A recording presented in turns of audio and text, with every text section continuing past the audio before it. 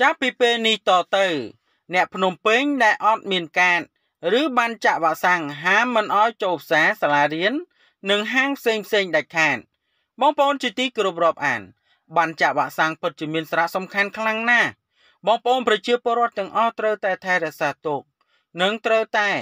គិតគូររក្សាឲ្យបានល្អពីព្រោះថាសម័យនៅពេលបច្ចុប្បន្ននេះគឺយើងរស់នៅជាមួយនឹងស្ថានភាពនៃជំងឺ Covid បើសិនជាបងប្អូនមិនចូលរួមចាក់វ៉ាក់សាំងគឺបងប្អូននឹងបង្កឲ្យមានការលំបាកដល់ការឆ្លងរីករាលដាលនៃជំងឺ Covid អញ្ចឹងការចាក់វ៉ាក់សាំងគឺមានសារៈសំខាន់ហើយបានចាក់វ៉ាក់សាំងក៏មានសារៈសំខាន់ខ្លាំងដែរនៅពេលដែលបងប្អូនទៅណាមកណានឹងរកការងារធ្វើ ទៅក្រៅប្រទេសក៏គេត្រូវការបាននេះដូច្នោះកុំឲ្យប្រិយមិត្តរបស់យើងរងចាំយូរសូមមេត្តាជួយ Subscribe និង Like ដើម្បីទទួលបាននូវព័ត៌មានថ្មីថ្មីបន្ថែមទៀត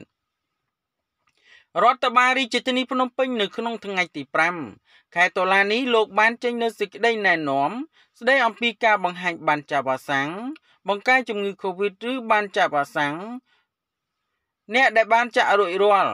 ឬក៏លិខិតបញ្ជាក់អំពីការចាក់វ៉ាក់សាំងបង្ការជំងឺ Covid រាល់ការចេញចូលគ្រឹះស្ថានសិក្សាផ្សារនិងទីតាំងអាជីវកម្មនានា នៅក្នុងរាជធានីភ្នំពេញរដ្ឋបាលរាជធានីភ្នំពេញលោកបានឲ្យដឹងថានៅក្នុងន័យនេះគឺដើម្បីបង្កើនប្រសិទ្ធភាពឲ្យកាន់តែប្រសើរឡើង នៅការគ្រប់គ្រង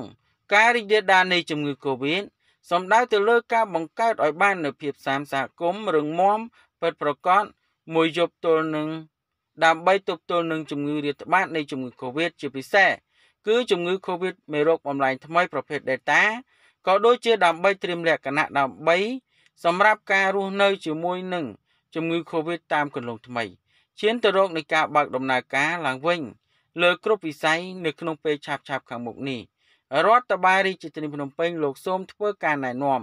បន្ថែមទៀតដល់បងប្អូនប្រជាពលរដ្ឋឬក៏គណៈគ្រប់គ្រងគ្រឹះស្ថានសិក្សាឬក៏គណៈគ្រប់គ្រងផ្សារឬក៏ម្ចាស់អាជីវកម្មដ្ឋាន ឬក៏ម្ចាស់ទីតាំងអាជីវករ នៅក្នុងវិស័យឯកជននិងសាធារណជនទាំងអស់ត្រូវមានកាតព្វកិច្ចបង្ហាញការចាក់វ៉ាក់សាំងបង្ការជំងឺ Covid ឬមួយក៏បានចាក់វ៉ាក់សាំង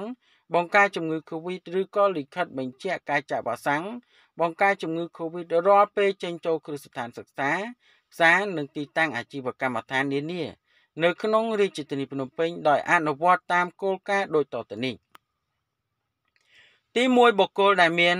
អាយុចន្លោះចាប់ពី18ឡើងទៅគឺត្រូវមានកាតព្វកិច្ចបង្ហាញបានចាក់វ៉ាក់សាំងបង្ការជំងឺ Covid ចេញដោយក្រសួងសុខាភិបាលឬក៏ចាក់វ៉ាក់សាំងបង្ការជំងឺ Covid ចេញដោយក្រសួងការពារជាតិឬក៏លិខិតបញ្ជាក់ការចាក់វ៉ាក់សាំងបង្ការជំងឺ Covid រាល់ការចេញចូលទីតាំងឬក៏ទីកន្លែង ដូចជាគ្រឹះស្ថានសិក្សារដ្ឋនិងផ្សារឯកជនផ្សារម៉ាត ភោជនីយដ្ឋានអាហារដ្ឋានហាងកាហ្វេ និងទីតាំងផ្សេងផ្សេងទៀតដែលត្រូវបានកំណត់និងអនុញ្ញាតឲ្យបើកដំណើរការ ទី2មេតិកាចំពោះមេដាបៃតាឬក៏អាណាព្យាបាលរបស់កុមារនិងយុវវ័យដែលមានអាយុចាប់ពី6ឆ្នាំដល់18ឆ្នាំត្រូវមានកាតព្វកិច្ចបង្ហាញបានចាប់អាសាំង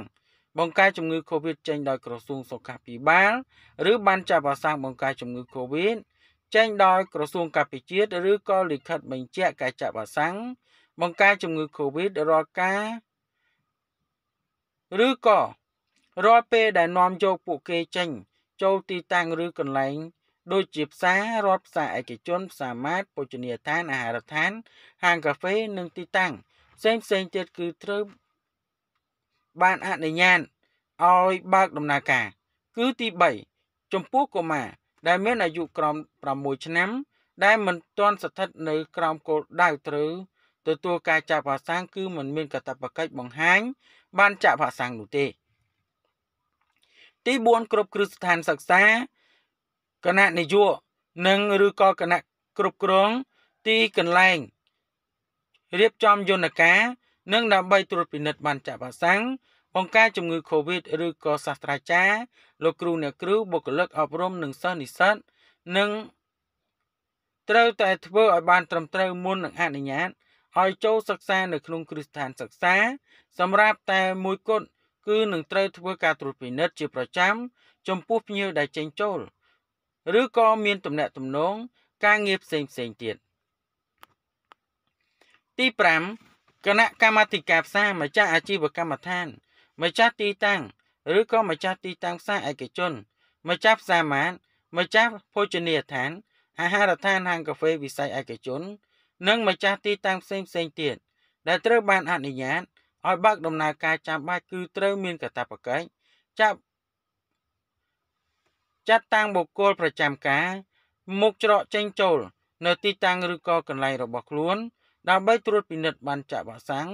តាមគោលការណ៍ណែនាំខាងលើនេះ ប្រសិនបើមានបុគ្គលណាម្នាក់មិនព្រមសហការបង្ហាញបានចាក់វ៉ាក់សាំងដាច់ខាតមិនត្រូវអនុញ្ញាតឲ្យចូលនៅក្នុងទីតាំងឬក៏កន្លែង របស់ខ្លួនឡើយនឹងត្រូវរាយការណ៍ទៅកាន់អាជ្ញាធរមូលដ្ឋាន ដែលនៅក្បែរនោះជាបន្ទាន់ទី6ចំពោះគណៈកម្មាធិការគ្រឹះស្ថានសិក្សាគណៈកម្មាធិការផ្សារម្ចាស់អាជីវកម្មដ្ឋានម្ចាស់ទីតាំងម្ចាស់ផ្សារឯកជនម្ចាស់ផ្សារម៉ាតឬក៏ម្ចាស់ភោជនីយដ្ឋានអាហារដ្ឋាន ហាងកាហ្វេវិស័យឯកជននិងម្ចាស់ទីតាំងផ្សេងៗទៀតដែលត្រូវបានអនុញ្ញាតឲ្យបើកដំណើរការប៉ុន្តែមិនបានអនុវត្តទៅតាមគោលការណ៍ណែនាំខាងលើ គឺត្រូវប្រឈមនឹងការដកហូតអាជ្ញាប័ណ្ណឬក៏លិខិតអនុញ្ញាតឬឈានទៅដល់នៃការបិទទីតាំងតែម្ដងព្រមទាំង